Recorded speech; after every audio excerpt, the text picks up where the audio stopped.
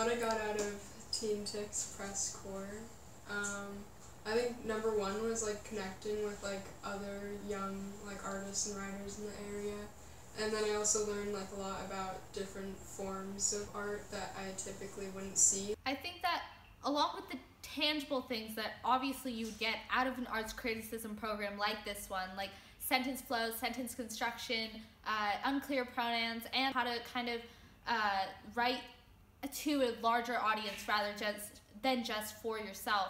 I think I also learned about sort of intangible things like that there's sort of there is a community of teens who love arts and writing just as much as I do and it's the community that I can like go to arts with and I can collaborate with and I can learn from and from them instead of being a passive consumer of art I'm able to openly contribute to the arts community.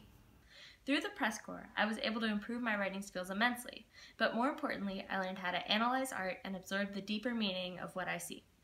The critical thinking skills I learned in this program have allowed me to get more out of all art I experience. In addition, this program put me in contact with a new nerdy, arts-loving subgroup of teen writers I never knew existed, allowing me to make new, interesting friends that share my interests. Press Corps also let me learn from experienced, respected professionals in the field of arts criticism, which inspired me and greatly improved my writing. The TeenTix Press Corps helped me not only as a writer, but as a critical thinker. When we were writing our reviews, we had to like think of like how like say a stage was set or how like a painting every single stroke like you have to describe it 1st mm-hmm. and then mm-hmm. you think about the meaning of it rather than just trying to interpret it like as you're seeing it yeah.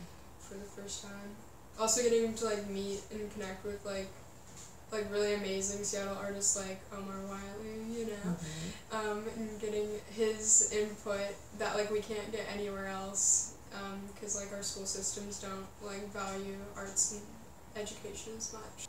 Yeah, I think I just think about like everything a little bit differently now.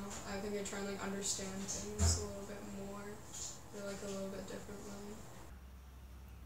A bright gray light illuminates the stage, which is empty except for a tired, sagging tree, two rock-like structures made of carpet, and orange cords hanging from the ceiling. The audience, hushed, waits for 30 seconds. The stage is still. 15 seconds more. Nothing. People start rustling in their seats. Another 15 seconds and an alarm clock starts blaring. Carpets are unrolled. Nerf guns are shot. Patty and the Kid has begun.